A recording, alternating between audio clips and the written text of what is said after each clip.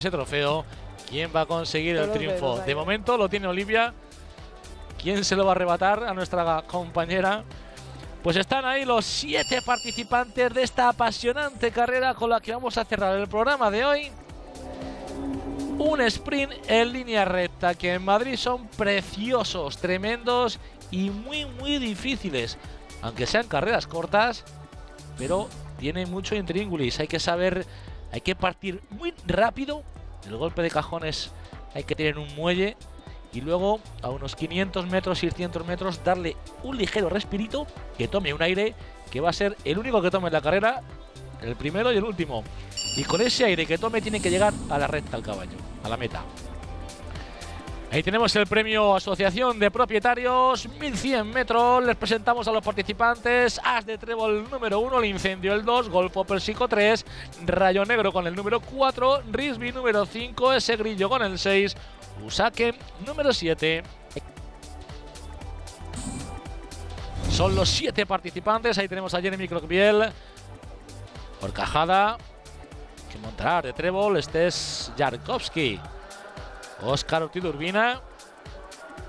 Ahí tenemos a Cerqueira.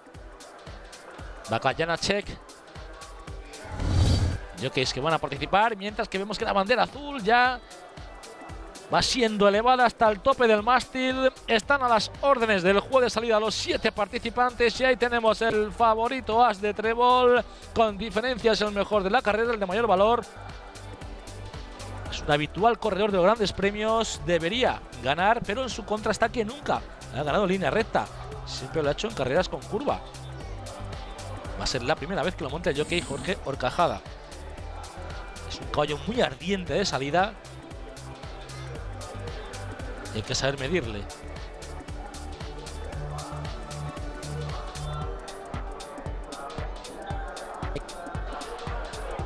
Ahí tenemos 6 dentro. Únicamente falta por entrar el favorito As de Trébol. Buscamos a los favoritos. Como no, As de Trébol el número 1 a 1.50. Rayo Negro número 4 a 4.50. Entra As de Trébol. Todo preparado, dispuesto. Se ajusta Horcajada. Y ahora sí, se van a abrir, se abren los cajones, se da la salida a la quinta carrera, emocionante sprint en línea recta, 1100 metros, casi a pulmón, solamente van a tomar un aire los caballos y tendrán que llegar con él hasta la pista, de, hasta el poste de meta. Vemos que Arde Trébol por fuera toma la primera posición, por el interior Rayo Negro, los dos favoritos, cada uno galopando por líneas distintas, uno por dentro, otro por el exterior. Arde Trébol primero, detrás de él sigue de amarillo Risby y de verde y amarillo es el número 6 de ese grillo, por el interior Rayo Negro, de rojo detrás del Golfo Pérsico y Usake. Detrás cerrando el grupo el número 2 del incendio. Últimos 450 metros. Ahí está Rayo Negro primero, Rayo Negro con Golfo Pérsico por el exterior Arde Trébol. Van abiertos, ahora se van juntando. Rayo Negro se queda solo por la calle 1. Golfo Pérsico arranca por la calle 2. Por fuera Arde Trébol. Aguanta Rayo Negro. Rayo Negro primera posición. 100 últimos metros. Rayo Negro, Golfo Pérsico. Por fuera ese grillo. Rayo Negro, Golfo Pérsico. Ese grillo. ¡Buf! Creo que Golfo Pérsico. Entre Golfo Pérsico y ese grillo va a estar la llegada que ha sido tremenda y como se merece un sprint en toda regla con tres caballos llegando en menos de una cabeza de diferencia. Por dentro, Rayo Negro. Por el centro, Golfo Pérsico. Por fuera, ese grillo. Esperaremos a ver las imágenes de esa llegada tremenda, emocionante, una llegada muy cerrada entre Golfo Pérsico y ese grillo. A ver quién es el ganador. No va a ser nada fácil diferenciarles. La diferencia va a ser mínima. En el poste de meta. Y ahí tenemos Rayo Negro. Salía por los carriles interiores, se fue hacia adentro. Arde Trébol, el favorito por fuera. Y una vez más se ha demostrado que es un caballo con curva, línea recta. Le cuesta. Y qué bien han finalizado tanto Golfo Pérsico como ese grillo.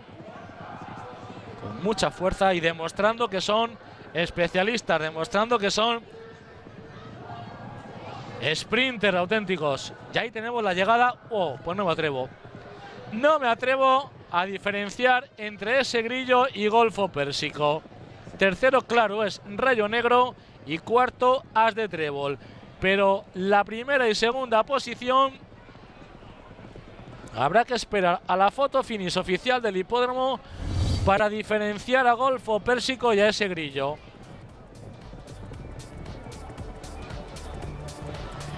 es ese grillo. El número 6 es el ganador y segundo el número 3 de Golfo Pérsico. Vence el número 6 de ese grillo. Gana el número 6 de ese grillo. Ahí le tenemos con la monta de Bacla Janacek. La chaquetilla de la cuadra Usía Figueroa. Preparación de Guillermo Ariz Correta. Ese grillo consigue la victoria en este magnífico sprint disputadísimo hasta el último centímetro. Y Janacek que suma su victoria número 40 de la temporada. Continúa ese mano a mano con Jeremy Croqueviel por el liderato de la estadística de Jockeys 2011. Tremenda la llegada. Se merecía dos copas. Ahí está ese grillo por fuera. Se impone, bueno, por un suspiro. Por dentro Golfo Pérsico de amarillo tapado la imagen por ese grillo que consigue una nueva victoria. Ya es la cuarta, 12 carreras disputadas, 4 victorias para ese grillo. Ahí tenemos a Janacek que se confirma el caballo como uno de los mejores sprinters de España.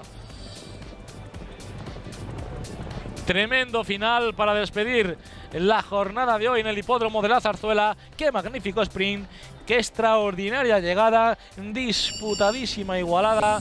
Finalmente, como ven en el orden provisional, la victoria al número 6, ese grillo con la monta de Janacek, segundo Golfo Pérsico, el número 3 con Julián Grusan, tercero Rayo Negro, el número 4 con Cerqueira y cuarto fue As de Trébol, el número 1 con la monta de Jorge Orcajada.